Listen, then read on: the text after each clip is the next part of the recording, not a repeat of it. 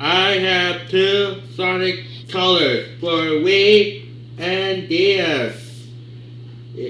I have these two games because uh, I have Sonic Colors for Wii and DS.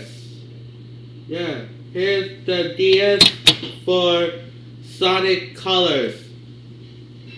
And here is the Wii for Sonic Colors. Uh, okay, if you have any requests on the stage, let me know. I And I just compared a few levels of these two stages, a few stages for these two games.